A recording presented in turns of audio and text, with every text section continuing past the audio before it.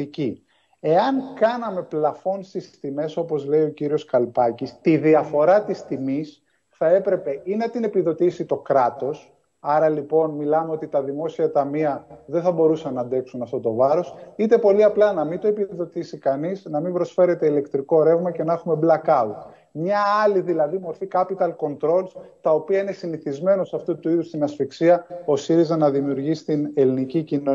Πρέπει να φορολογηθούν ε, επιπλέον οι εταιρείες ενέργειας, κύριε Ρωμανέ; Γιατί τίθεται ζήτημα αυτή τη στιγμή για το αν το πρωτεύον είναι να φορολογηθούν ναι, οι εταιρείες ενέργειας. Ναι, τίθεται ζήτημα. Ή, η ΡΑΕ, για παράδειγμα, έχει εισηγηθεί. Η ΡΑΕ. Για το πρωτεύον αυτή τη στιγμή είναι και οι εταιρείες δεν να με ακούτε. για να υποστηριχθούν Δεν με ακούτε. Όχι, κάνετε λάθος. Η Ρυθμιστική Εγώ Αρχή Ενέργειας, και δεν το λέω από. δεν είναι δικό μου ρεπορτάζ, είναι της καθημερινής και της ε, κυρίας Χρήσας Λιάγκου, της συναδέρφου, έχει εισηγηθεί, λέει η ΡΑΕ στο Μαξίμου, ε, υπέρ της επιβολής έκτακτης εισφοράς στα κέρδη που παράγονται κατά τη διάρκεια της ενεργειακής κρίσης στον κλάδο της ηλεκτροπαραγωγής λόγω των υψηλών τιμών του φυσικού αερίου.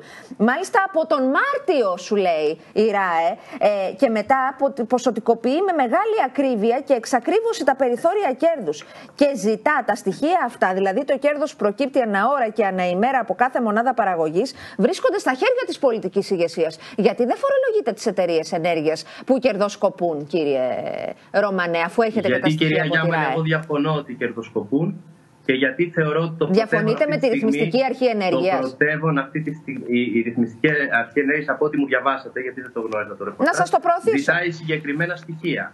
Αυτά τα στοιχεία λοιπόν φαντάζομαι ότι θα υποστούν κάποια επεξεργασία για να οδηγηθούμε στο συμπέρασμα του αν κερδοσκοπεί και ποιος και ή όχι. Αλλά